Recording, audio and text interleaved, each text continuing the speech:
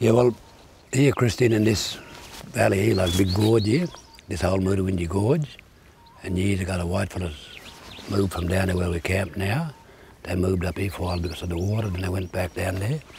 But here you see the, with the big gum trees over there, when I first started with National Parks in 1980, all it was a big creek, and along here where these stones going along this way, I used to drive a motor car right up, but then because all that's choking up now over there, and there'll be the creek here, and down there where I was showing you, we're digging for water, that'll turn into a big creek.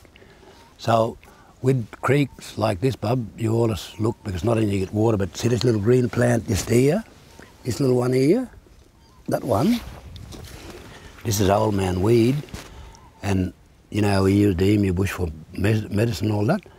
The people in Victoria, people in there, the Aboriginal people, they get this, and they make soap and shampoo and all that, and it's got a really nice smell.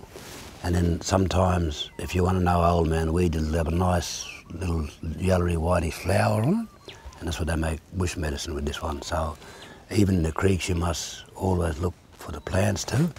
And when you're washing a water owl, you mustn't use soap or shampoo. You just can't have a wash because soap and shampoo will kill little plants like this because it's not used to the soap in it. Yeah.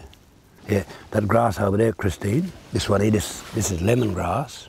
But this one is good for you can make a drink when you, what's the name of that sign it? You smell it, it's like lemon. So tonight we'll probably cook some fish and put this inside the fish and it'll give it a nice taste. You can cook with it and stuff like that. So this is a nice grass too. That's lemongrass, that one. And then also you can buy another lemongrass with a flatter leaf from the shop, but this is the native one. What is it? Oh, that's a little dove, bub. He's sitting over in the tree, little, little dove, and he's singing out like that, yeah. He does, eh? Yeah.